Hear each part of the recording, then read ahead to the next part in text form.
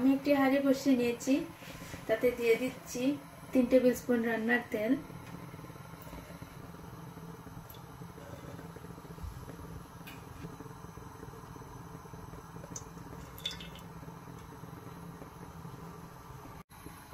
দিচ্ছি half teaspoon জিরা spoon সরিষা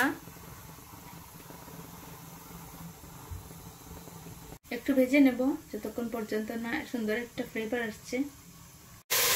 তেল দিয়ে দিয়েছি। এবার সবগুলোকে একটু বাজবো একসাথে।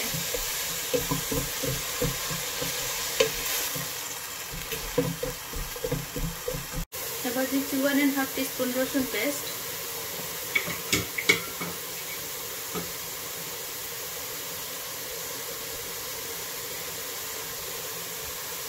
দিচ্ছি ওয়ান অ্যান্ড হাফ টিস্পুন লবণ।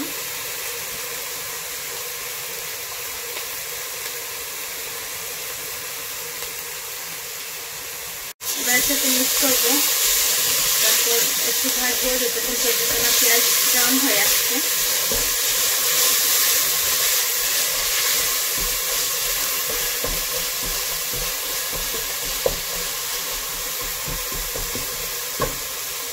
আমার পেঁয়াজ ভাজা হয়ে গেছে গোল্ডেন ব্রাউন হয়ে এসেছে।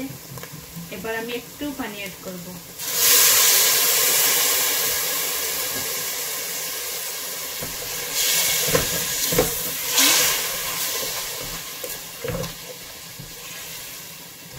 যাতে পুড়ে না যায়, সেজন্য আমি একটু পানি অ্যাড করেছি। হাফ টিস্পুন হলুদ। ওয়ান টিস্পুন মরিচ ওয়ান টিস্পুন কারি পাউডার এবার সবগুলো একসাথে মিক্স করব, আর একটু এক থেকে দুই মিনিট ভেজে নেব।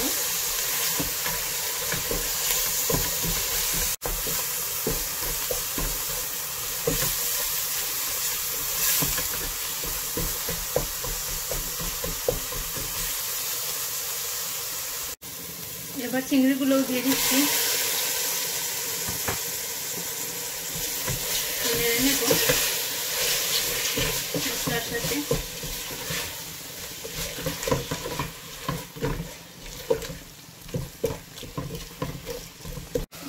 চিংড়ি দেওয়ার পর আমি পাঁচ মিনিট রান্না করে নিয়েছি।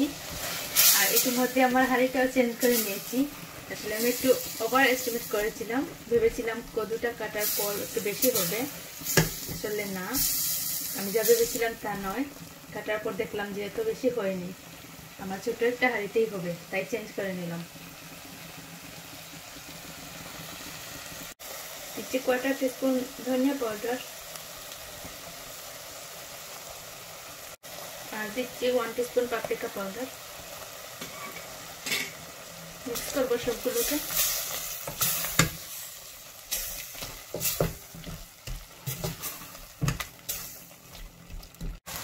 আমি চিংড়িগুলোকে আরও দুই থেকে তিন মিনিট ভাজবো মিডিয়াম টু লো হিটে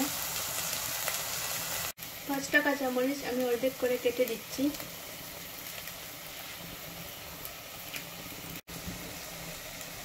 এবার তাতে কতগুলো দিয়ে দিচ্ছি? একটু একটু করে।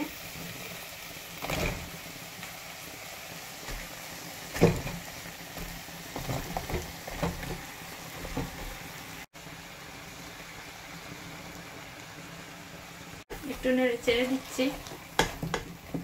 যাতে মশলার সাথে একটু মিশে যায়। একটু ধীরে ধীরে লাড়ছি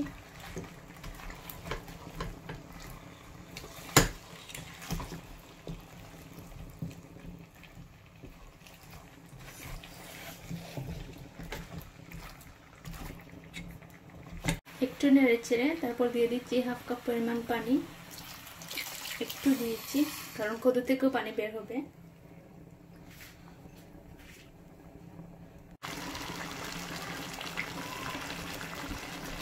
পাঁচ মিনিট পর একটু নেড়ে দিচ্ছি।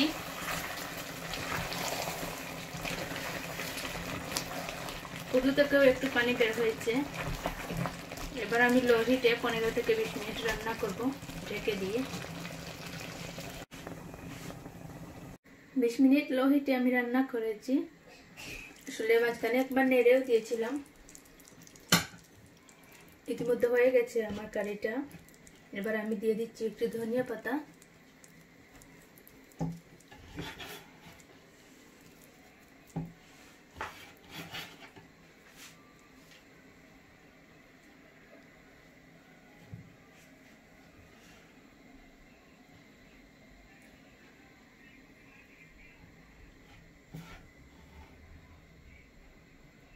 এবার আমি নামিয়ে নেব।